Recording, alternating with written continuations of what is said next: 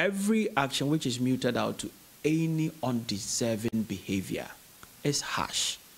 But you ask yourself, is that decision in the best interest of the system?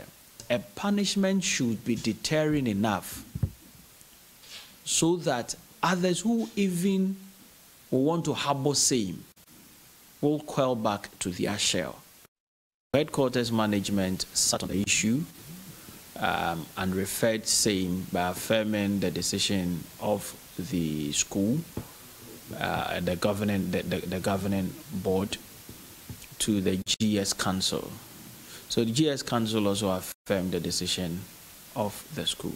The actions of the said students warrant the appropriate punishment which has been given out to them.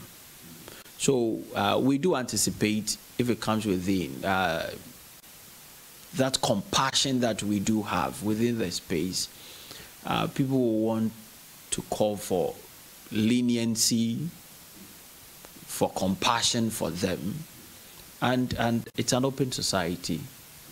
Uh, we can have that discussion, but we are particular about the number of students that this influence shouldn't get to them. So uh, the doors of the Director General is always open for dialogue.